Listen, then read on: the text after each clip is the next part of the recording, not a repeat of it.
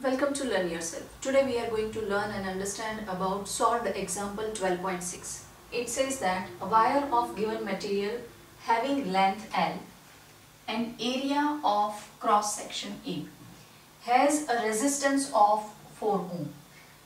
What would be the resistance of another wire of the same material having length L by 2 and area of cross section 2A?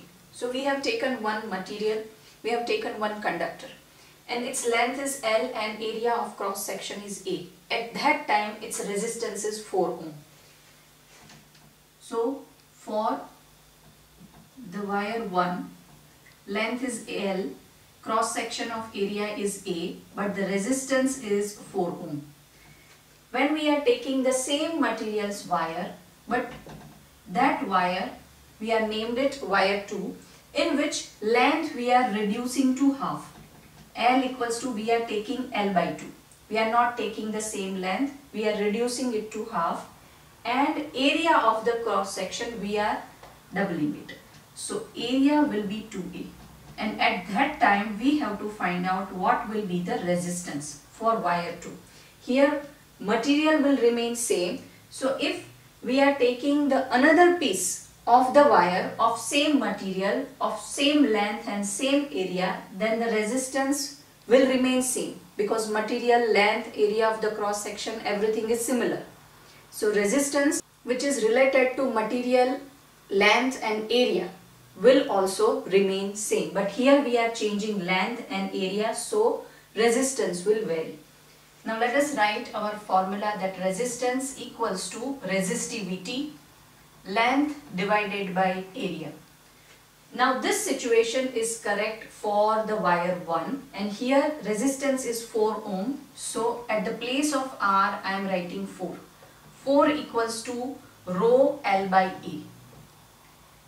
Now let us check about wire 2 for the second situation that similar formula I am writing R equals to rho L by A. But here we have to replace L with L by 2 because we are changing the length here which is going to be L by 2 and area we are taking instead of A we are writing 2A.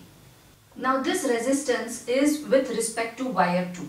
If I reframe this equation something like this that R equals to 1 by 2 into 1 by 2 because 1 by 2 is for this and 1 by 2 is for this. So 1 divided by 4 and into the bracket I am taking remaining things that rho L by A. Now rho L by A's value is 4 from the equation 1. This is going to be our equation 2 as per the wire 2.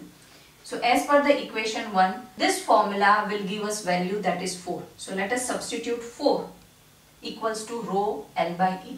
So here we will get R equals to 1 divided by 4 into 4 which will give us 1 because 4 and 4 we can cut it out. So here we will get 1 since this is resistance we will get 1 ohm. Unit of the resistance will be 1 ohm. Here we can also write that this is for the wire 1 so this is resistance 1 and this is going to be our resistance 2 because this is for the wire 2 so when we are changing length of the conductor and that too we are making it half and area of the cross section we are making it double. At that time resistance will be 1 ohm. Here resistance is 4 ohm.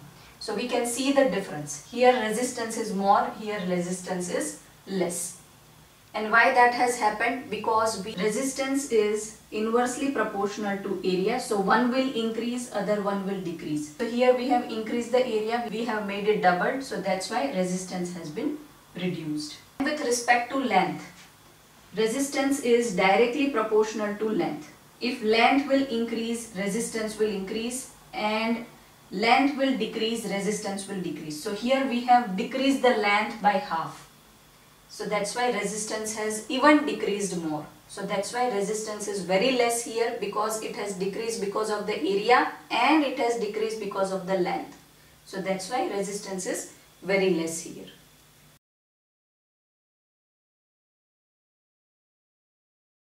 So hope this video has solved your doubt. In coming videos, we are going to cover some important concepts. So don't forget to subscribe, learn yourself. I'll see you in next video. Till then, keep learning, keep sharing.